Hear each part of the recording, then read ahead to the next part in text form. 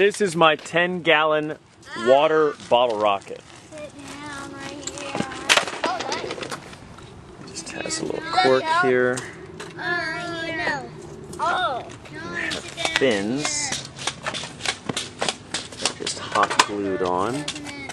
Yeah. and then the water is about at that That level. definitely my best record. Please don't right around that. That is so Made it. good. This is my launching mechanism.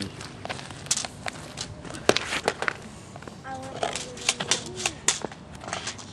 I bet I Okay. can make it to the middle. Do that so we can have it I bet I nice and make it. straight up and down. I bet I can. That's the launching platform. think I can make it to the line. in the So what I've got is You think I can make it to the line? I've got two five gallon bottles that I used goo to stick them together, and the goo has hardened already.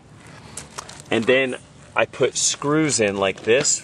I put uh, eight screws around to keep the thing nice and tight so it doesn't come off. Hey, Manny. Then we're going to use a rubber stopper Dad. and tighten it in real nice.